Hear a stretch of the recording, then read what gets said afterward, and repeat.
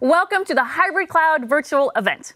Now, as you saw in that video, customers like JB Hunt, KPMG, Allscripts, and Chevron are taking a hybrid cloud approach and working with Azure to do this. In fact, 95% of Fortune 500 companies are using Azure, and the majority have a hybrid cloud approach.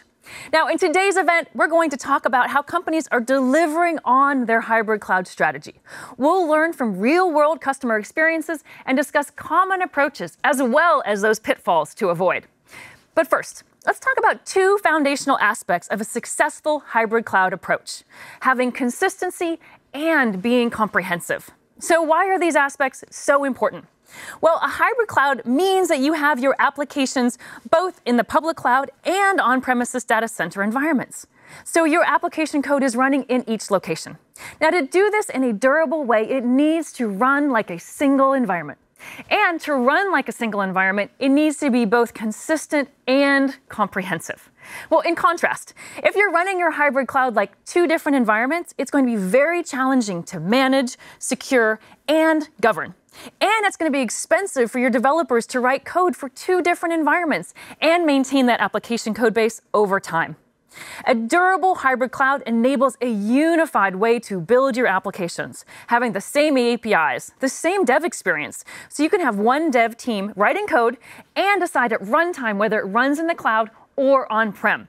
It's the consistency across your hybrid cloud that enables this experience. But it goes beyond just the developer experience into the way that you manage, secure, and govern your hybrid cloud. And again, you need a consistency in how you do this. For example, if you want to have a consistent identity system for your hybrid applications, if you're running two different identity systems, it's going to be difficult to secure it well.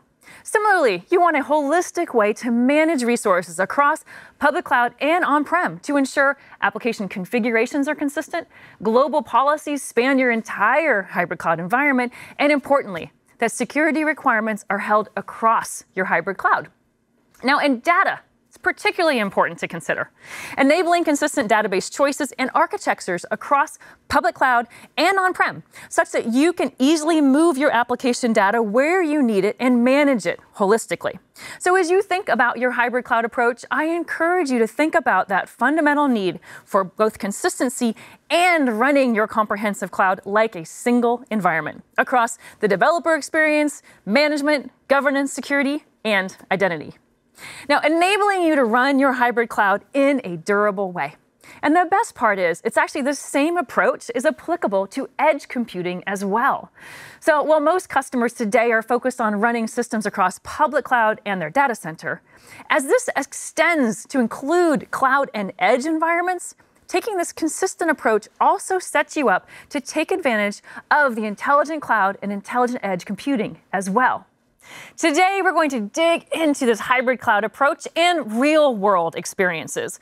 We're going to hear from Paul McGowan, who is leads cloud infrastructure and security for UBS, the world's largest wealth management company, and hear about how they've approached their hybrid cloud and his key learnings. We'll also cover topics including operating a hybrid cloud across application innovation, data, security, and governance, as well as your cloud migration approach. We'll also look at some new products and help you extend your hybrid cloud approach from managing legacy applications to running AI on the edge.